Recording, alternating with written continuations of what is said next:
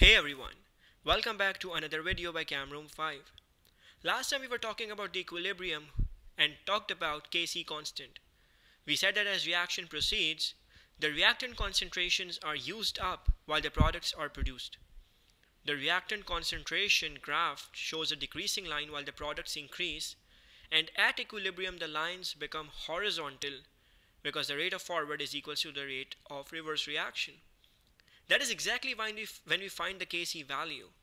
Kc was the ratio of product concentration over the reactant concentration at a specific temperature. Kc expression has variable units. That is also something we talked about. In today's video, we are doing some past paper questions, so let's begin. The question says SO3 is produced by the reaction between SO2 and O2 in the contact process. A dynamic equilibrium is established. Explain why increasing the total pressure at constant temperature increases the rate of production of SO3 and increases the yield of SO3. So when we talk about the rate, we say that at higher pressure, the particles are closer now. So the particles move closer because the volume is decreased, right? We say and more particles are present per unit volume. So more particles are present per unit volume. And as a result, so their frequency of successful collision increases.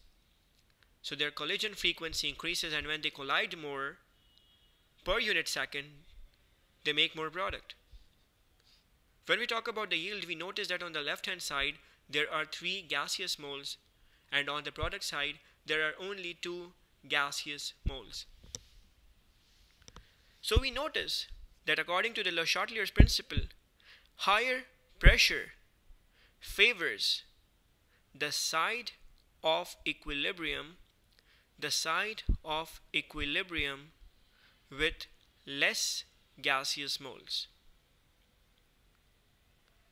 So we need to mention the idea of gaseous moles because otherwise solids and liquids would also be considered which they are not. So equilibrium with less gaseous moles is favored so equilibrium moves towards the right side which means more product is obtained. Now this question says the graph shows how the concentration of all three species in the system change with time. For a typical reaction mixture, it means we are talking about the rate. The gradient of all three lines decrease with time and then level off in this dynamic equilibrium. Explain why gradients of SO2 and O2 lines decrease with time. So the gradient actually refers to the rate which means the rate decreases. So we can say that SO2 and O2 are reactants and so they are used up their concentration obviously decreases. That's why the graph is falling. So they are used up, but as their amount decreases, the rate also decreases because the rate depends upon the concentration of reactant particles.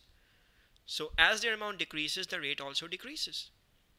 Part 2 is asking explain why all three lines become horizontal. So they become horizontal, which means the concentration is becoming constant. And that happens at equilibrium. So we say the concentration become constant, which means the rate of forward reaction is equal to the rate of reverse reaction and that is when we say the equilibrium is established.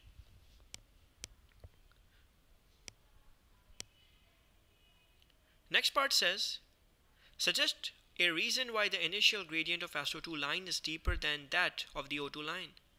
You can notice that from a red line I am drawing the gradient of the SO2 line and with a blue pen I will be drawing the gradient of the O2 line the line for O2 is less steeper. So we say SO2 and O2 react in a ratio of 2 is to 1. So react in a 2 is to 1 ratio. More moles of SO2 are used up to make the SO3 to make the product you can see that SO2 is required more. So used up to make products. so it is used up quicker. SO2 will be used up quicker while O2 will be reacted will be produced a little less quicker.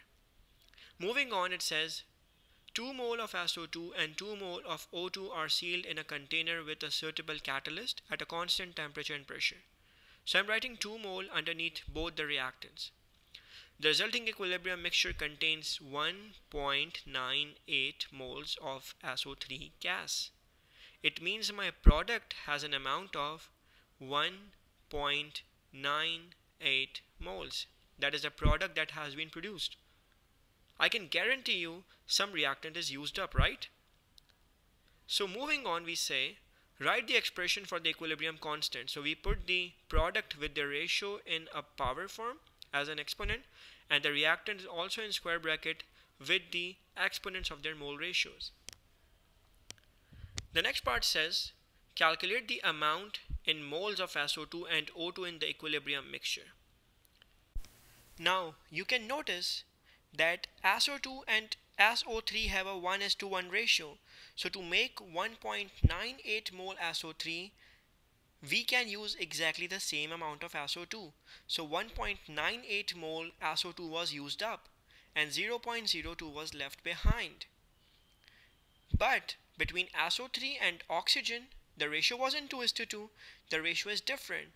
So let's write that between SO3 and O2, the ratio was 1.98 to X. And from the equation, we know that the ratio is 2 is to 1. So how much oxygen was used up? You can easily find that by dividing 1.98 by 2. So I will say 1.98 should be divided by a 2 to find the number of mole of oxygen which is equal to 0.99 mole. So let me write that 0.99 mole oxygen was used up. And when 0.99 mole oxygen was used up, how much was left behind?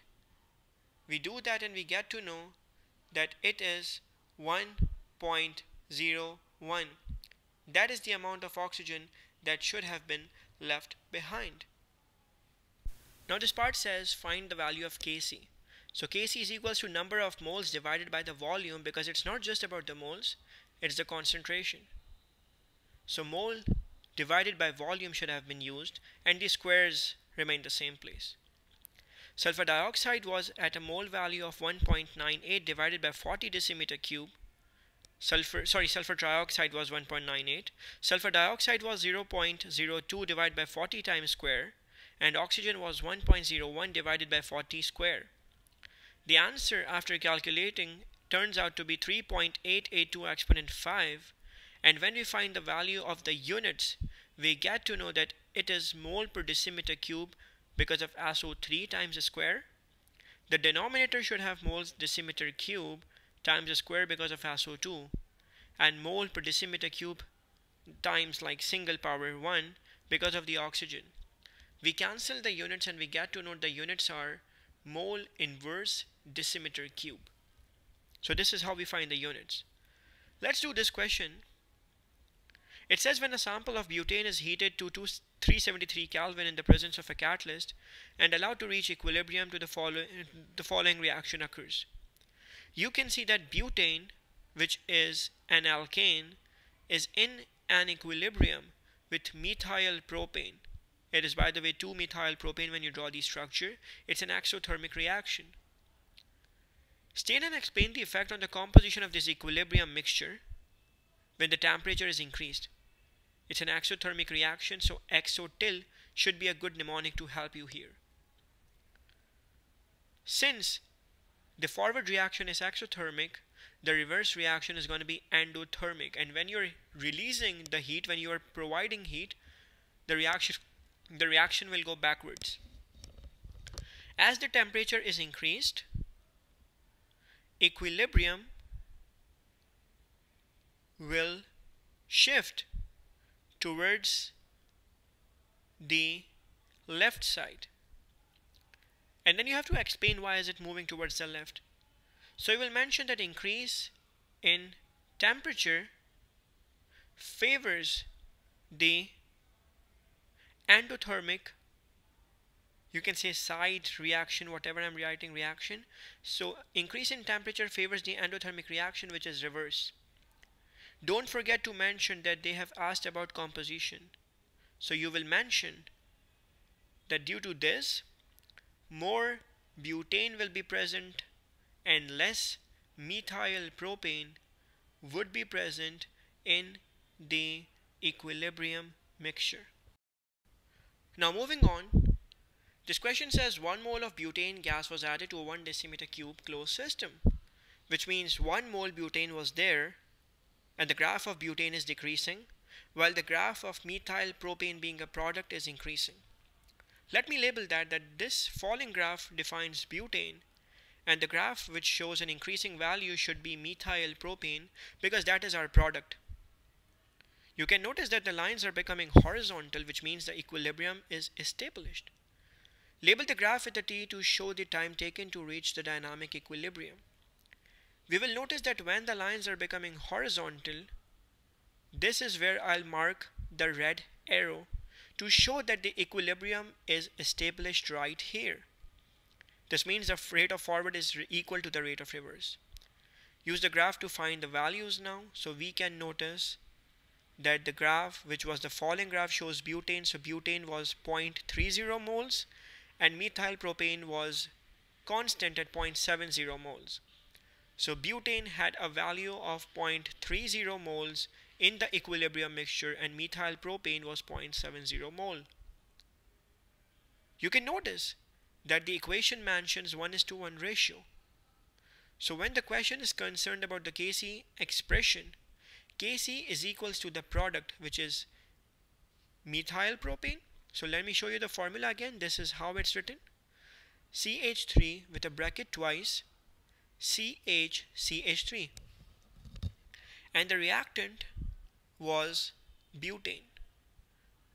Butane was written as CH3 then CH2 twice and then again CH3 again in square brackets no exponents because it was 1 is to 1 ratio. We find the value of Kc by using the values of concentration we just found out. You can notice that the decimeter cube was just 1 decimeter cube volume so there's no point in dividing it by 1. There was no exponent either so we can simply find the value of Kc at 2 no let me solve that again yeah so it was turned out to be 2.33 because it was uh, rounded off to a 2.33 moles. And then when we find the units, we get to know that both are mole per decimeter cube, numerator and denominator. When we cancel that, we get to know that there are no units. So this is how we solve the Kc and units of various questions.